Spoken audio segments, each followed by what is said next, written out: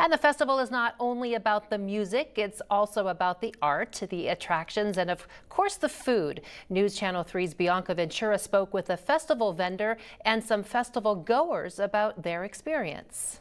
When you step foot on the Coachella Festival grounds, you see stages, art installations, and of course, food and beverage stands like this one. Stephen Vading, administrative manager for Just Squeeze Juice, tells me he has been hiring people to help run their lemonade stands since January.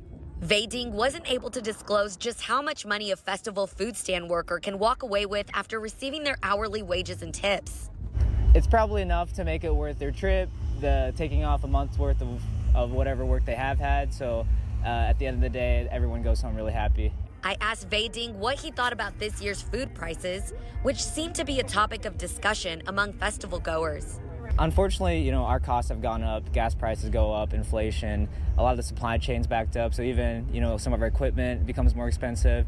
So it really goes into our final price point. Some festival goers said food prices definitely caught their attention this weekend because you see it everywhere they post like oh my god ice creams are like six dollars like what is this but you just you deal with it like you it's the price you pay for going to a festival you know you kind of just have to but they say they expect the high prices and it's part of the festival experience and it's like when you're hungry and like you've been there for so long you're kind of just like you know what, I just have to, so I'll just pay the price. Overall, we've had really good response. Uh, our tips are great. People are really nice here. That's what we love Coachella people, and it's just a good time.